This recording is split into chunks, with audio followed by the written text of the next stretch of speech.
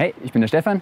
Ich stelle dir heute den Edelried Caddy vor, einen mega praktischen Seilsack für die Kletterhalle. Ähm, und warum das so ist, erkläre ich dir gleich.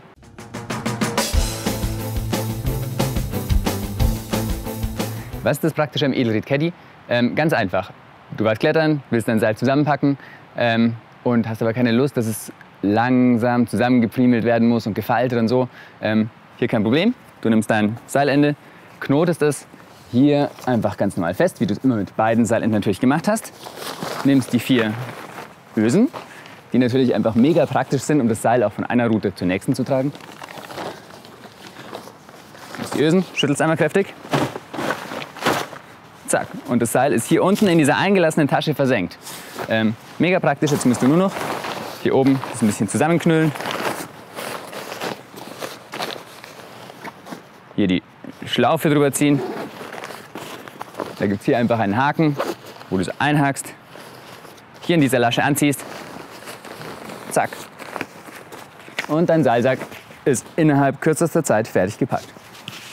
Du hast gesehen, super praktische Sache.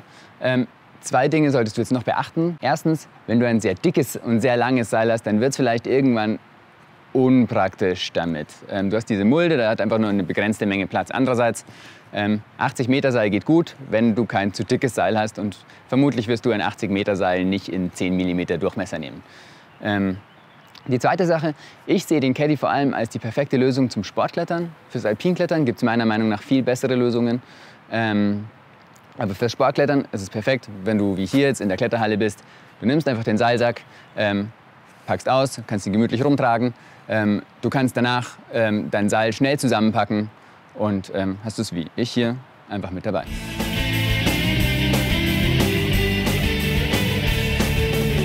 Wenn dir das Video gefallen hat, dann abonniere doch unseren Kanal. Ähm, wir informieren dich hier regelmäßig über neues Werkzeug. Ähm, also Kanal abonnieren, dranbleiben, nichts verpassen.